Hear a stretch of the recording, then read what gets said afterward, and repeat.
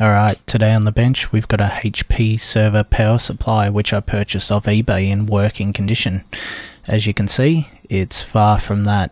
It's clearly got an issue. Let's open it up and see if we can get it to go. So the first thing I'm going to do here is check the easy components. I'm going to start off with the diodes and a couple of the capacitors. Now I gotta warn you, there's extremely high voltages in this video. Don't mess with them. They could kill you, and then I might have to laugh. No, really. Don't mess with it if you don't know what you're doing. So here I'm going to check the capacitors near the feedback and sort of monitoring circuitry. If one of them is um, knackered, well then maybe that circuitry is not firing up.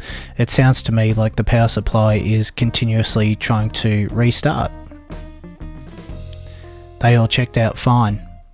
There's no obvious marks burns or anything like that on this power supply.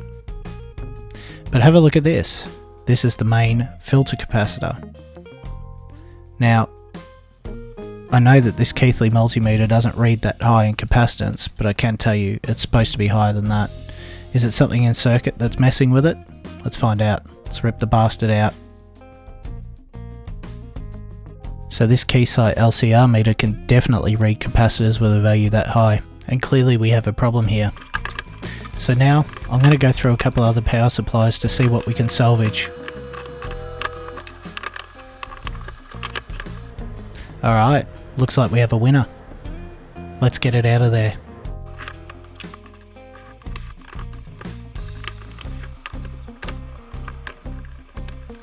This power supply has a problem as well.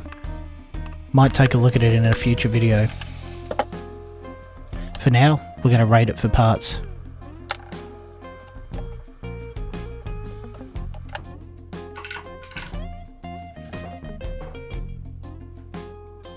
Close enough for Australia. Just solder in some jumper leads. You want to be very careful doing this. This is after the rectifier. There's extremely high voltages here. Plenty to kill you.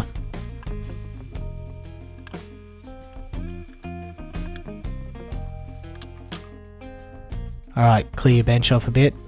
And we're going to hook up the uh, multimeter, the bench meter there you can see on screen and I've jumped the power supply so it should start now.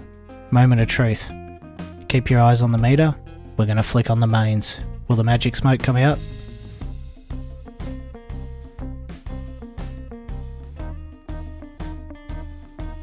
Hey look at that. 12.24 volts. Not too shabby. We also have a green LED I reckon we'll be replacing this capacitor and turning this into a useful benchtop power supply.